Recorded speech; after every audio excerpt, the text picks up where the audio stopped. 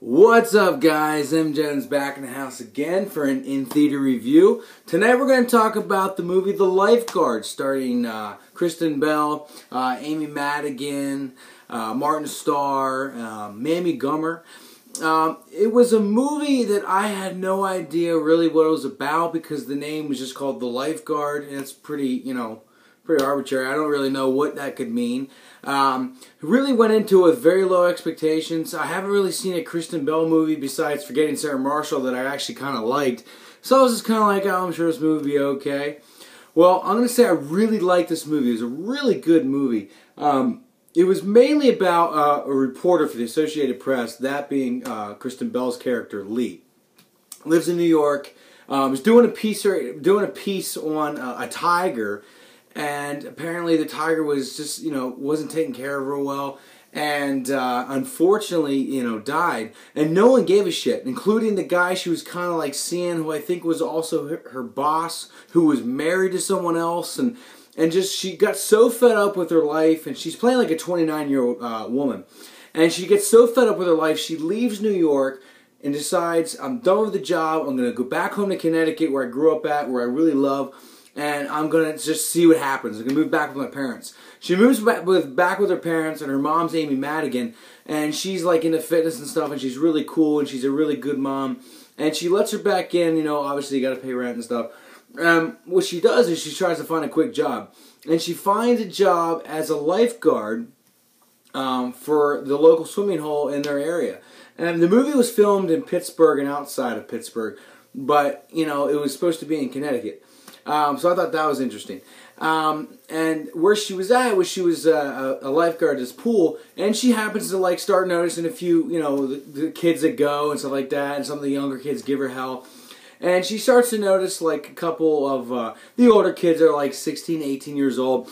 And the one is um, basically the owner of the pool's uh, son. His name's Little Jason, and it's played by David Lambert, who I think is going to be a really good actor um, down the road. He did an excellent job in this movie. He was probably the the main uh, um, role for an actor in this movie, and um, he plays like a 16 year old. And they just had this chemistry right from the start. And it's you know she's 29, he's 16. It's kind of like okay, it's pretty sure you'd be considered a uh, sex offender, Kristen Bell, if you have any interest, you know, physically and actually happens. And you know, as time goes on, you know, they start to really start to like each other um, just because she, he listens to her and listens to all her problems and vice versa. You know, he's thinking about dropping out of school. She doesn't know what the hell to do with her life because she left a great job in New York. And they both just need each other, you know, and they don't know it. It's just that they just naturally realize how badly they do need each other. Um, and they do it by almost pretty just doing everything possibly physically. There was a lot of graphic sex scenes in this movie. I did not expect Kristen Bell to be okay with that with a you know a younger a younger person. I mean, I think in real life the guy's like 19 years old, so he is legal technically. But in the movie he plays like a 16 year old, and she's 29 in the movie. So it's just, you know, a lot of people I think got offended by that. You know, I, have read a lot of Rotten Tomatoes and uh, a lot of the iTunes ratings and reviews, and they're like, "Oh, I'm so offended," and you know, this is just awful. You know, this is most of most of the women in this country um, that are in prison, are you know, in prison because of that. You know, you know, you know, pr- pretty much pr- um, preying on a uh, a young a young male under the age of eighteen, and you know, I didn't really take it as offensive. You know, maybe I, I know I'm a guy and I, you know, that would be awesome if I was 16 and a 29 year old hot lifeguard wants me. That'd be cool. But I, I didn't, I, you know, I've grown up since then. But I, I have, I watched and I was not offended by the fact she was 29 and he was 16. Um, they just, they happened to just fall in love. You know, it's just, they just, it just seemed to work. Now, was he kind of well beyond his years as a 16 year old? Kind of like how Katie Holmes was in Dawson's Creek, where she was just so intelligent for her age, it just didn't seem right. A little bit. The guy, the guy that, he, that portrayed the 16 year old, he did a really good job. He did not seem 16 to me. He seemed maybe 19 or 20. Um, so I think he could have done a little bit better job there. But I do think he had some powerful scenes in the movie. Um, but but anyway, they, they, go through a lot of struggles throughout the movie. You know, they're they're both hooking up with each other, and some of her friends that she comes back and sees. One's an assistant principal who's trying to get pregnant and has a crazy husband. Um, that doesn't listen, and she finds out about them hooking up, and she flips shit, and she's all you know, and and you know, Kristen Bell's character is all scared that you know the persistent principal uh, is going to tell um, about what's going on.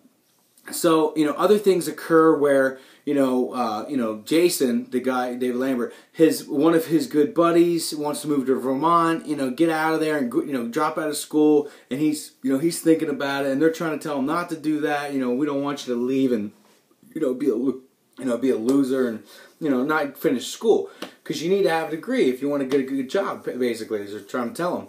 And you know, there's a really powerful scene. I cannot tell you anything about that because it'll ruin it. But there was a really powerful scene involving death um, that I was like just so just taken back from.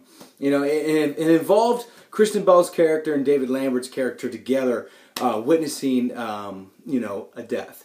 And it was just really powerful. The movie was at a solid B minus throughout the whole time until that scene, man, solid B plus. I was just like, wow, just awesome. Just it seemed very real. David Lambert, um, his reaction to the death was uh, just, in my opinion, very, very real.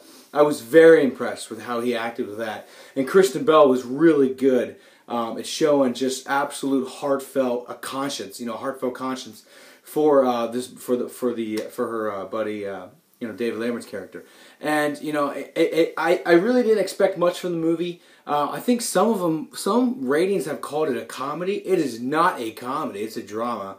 Um, really don't know why it's called a comedy. Um, not really funny scenes, just just very dramatic and you know a little depressing. Um, a solid ending. Really liked the ending. Thought it was you know pretty solidified. Um, you know, and, and I really I really think that uh, the movie will do well. Um, probably when it goes to Blu-ray. I don't in theaters. I don't know how it's going to be. But on Blu-ray, I think it's one of those movies where it's just it'll work when people can buy it and just watch it over and over and over, rather than have to keep buying a movie movie ticket to go see it in the theater. Um, but again, I always do ratings from one to five. I'll give this movie a three and a half. Um, I think that some of the casting was kind of random and not real well thought out. You know, there was a lot of secondary actors in there that just didn't do a great job. You know, and I think that it was almost you know like the music in the movie the the soundtrack's fantastic a lot of good alternative rock and alternative folk and, and all that kind of stuff folk style bands were in the, were in the soundtrack really good songs but the music seemed really loud and seemed much louder than the audio um, for the people talking so you know the editing department didn't do a real good job with that so that was kind of annoying it seemed very uh, very amateurish to me a little bush league um, but I'll give the movie three and a half out of five stars. I, I really did like it for my own self. Um, when I'm thinking about the whole population of this whole world, uh, what they would think, I think they'd probably like it less than I did. Um, I just, I, I, guess I've dealt with death before in high school, and so it kind of hit home for me. So it really, uh, you know, got my attention because of that. Um, but uh, you know, who wouldn't want to be 16 years old and have a hot 29 year old lifeguard after them? That's pretty cool. Uh, do I think the movie is an accurate depiction of what can happen? I do, in a sense. Um, but again, I, I, thought the movie was, was really good. I give it a three and a half out of five stars. Uh, I definitely think you should check it out. The Lifeguard. And it was a directorial debut as well for uh, Liz W. Garcia, which I thought was really cool. She did a good job for her first movie. But anyway, uh, please give thumbs up if you really like this review. You know, comment, tell me more what you thought. Uh, if you've seen this movie, let me know. Kind of interested in your own thoughts. But uh, until then, you take it easy and okay, bye.